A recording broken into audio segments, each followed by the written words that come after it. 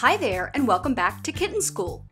In this video, I'm going to show you the steps that I use to socialize a feral kitten, taking her from hiding and hissing to purring and kissing.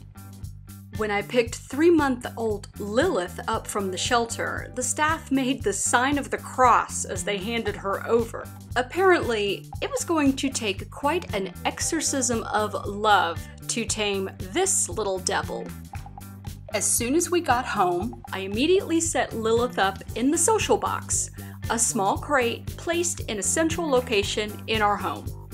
If you've watched some of my other kitten socialization videos, then you know that the social box is my favorite tool for helping scared kitties acclimate to a new environment. The kittens spend a few hours during the day inside the social box where they can observe the comings and goings of the family. If the kitten wasn't contained, she would just run away and hide. And then she'd miss out on all this crucial social interaction. A psychologist would call this exposure therapy, where if you're exposed to something that scares you and you gradually realize that you're not actually getting hurt, the fear will lessen. The social box method has worked wonders on so many of my scared foster kitties. Lilith wastes no time settling into her cozy social box hammock, and she's soon right at home. But she's still pretty scared when we approach her. After a few hours of letting her just chill, I open the social box to say hello. Lilith bit someone at the shelter pretty hard, so I'm approaching her with caution.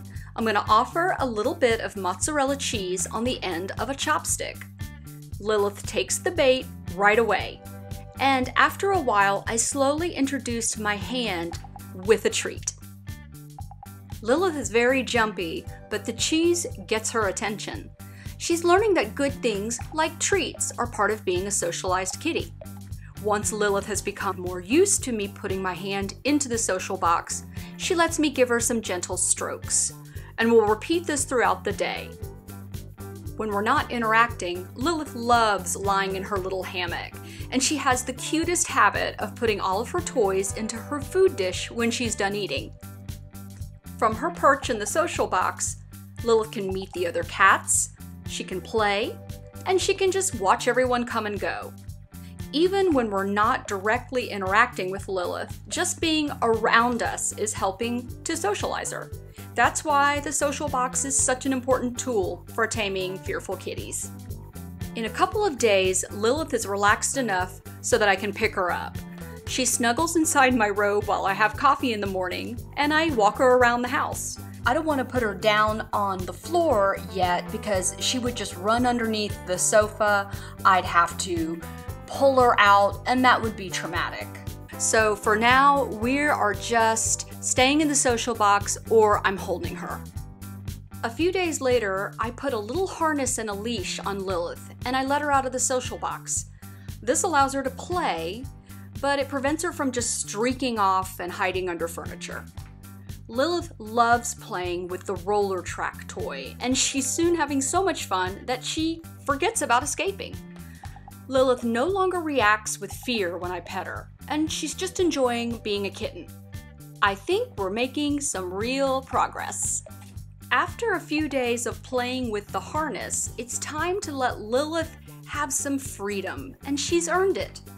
I let her out for playtime on our screened porch.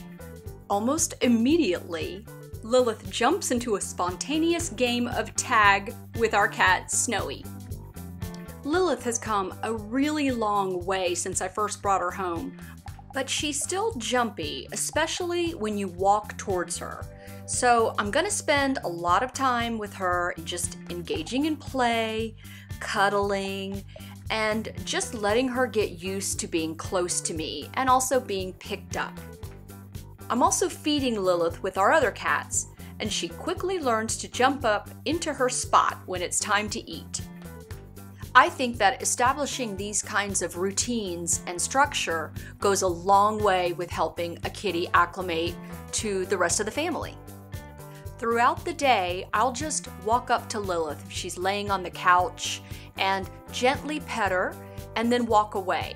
So she's starting to get used to having people approach her and she's not bolting the moment that you walk up to her. And I want to emphasize, I'm not picking Lilith up every time I walk up to her. Sometimes I just walk up, give her a gentle pet, and then walk away. Because you don't want the kitty to think that every time you walk up to her, she's going to get picked up. Okay, so let's do a quick recap on Lilith's journey from hissing to kissing. She spent the first few days in the social box just getting used to us and her surroundings. Then we put Lilith in a harness so that we could interact with her, but she wasn't able to run away. We applied a very busy curriculum of playtime, rest, and lots of cuddling. And treats, treats, treats. It's been almost four weeks, and Lilith has been a superstar. And I think that means it's time to find her forever home. Shortly after I post Lilith's photo and profile, Ryan comes to meet her. He already has a cat named Stitch, and he'd like to get a companion for him. Lilith is on her best behavior, and I think it's love at first sight for both. After the adoption application is complete, Lilith is off to her new home. After Lilith goes home with Ryan, he sends me some follow up videos a few days later, and it looks like she's very, very happy. I know she's going to bring years of fun and happiness to both Ryan and his cat Stitch. Now, I'm gonna be honest. I know sometimes watching a video, it seems like things are very easy, but socializing a fearful kitten takes a lot of time and patience, and each kitty is different.